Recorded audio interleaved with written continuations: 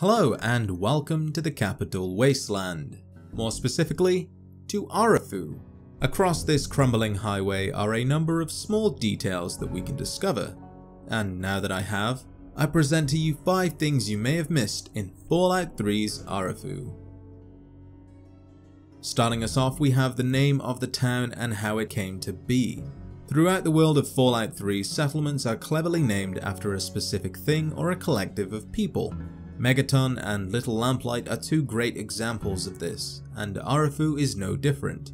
When approaching the broken remains of the small town, we can see the leftovers of what was once the highway's traffic sign. After years of erosion, the sign reads Exit 150A, Arefu. Next exit, Miles.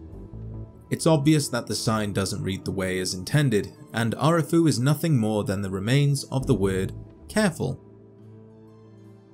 Did you know that Arefu is a real-world village found in Romania, not too far from the castle that belonged to Vlad III, Prince of Wallachia? Some of you may know him by his more barbaric name, Vlad the Impaler.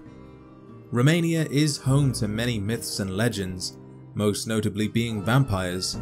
This might have been intentional since the entire quest of Arefu revolves around a group of humans following the vampiric trait of consuming blood for nourishment.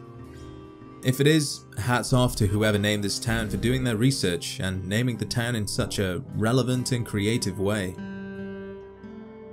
After completing the town's main quest, Blood Ties, you can return to one of the residents, Karen Shenzi. Our first interaction with her was bitter, to say the least.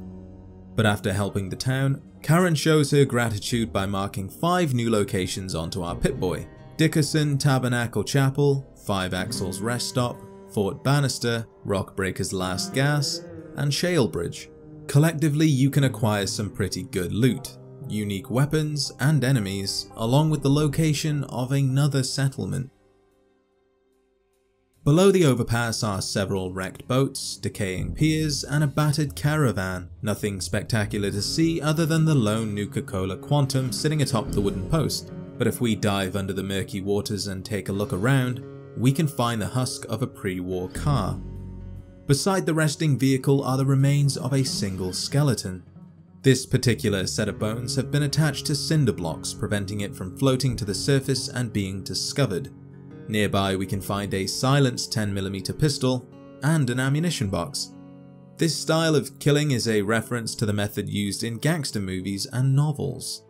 This particular technique of dipping a person's feet into wet cement and waiting for it to dry before tossing them into a body of water goes by several different names. Concrete shoes, cement shoes, or my personal favourite, the Chicago overcoat. Back in 2016, a body was found on a Brooklyn beach that had actually used this technique, and to this day is the only recorded case of it being used. And lastly, back up on the overpass, we can encounter the delusional Brayley Ewers.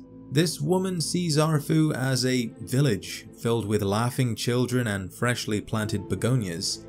It clearly isn't, and our first interaction has her thinking we're a delivery man, bringing her a full catalogue, which we're not.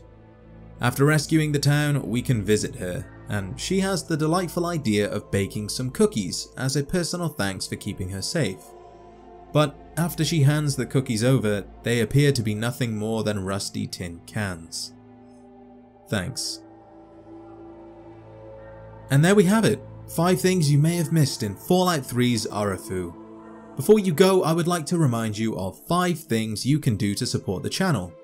Comment, like, share, subscribe, and enable notifications.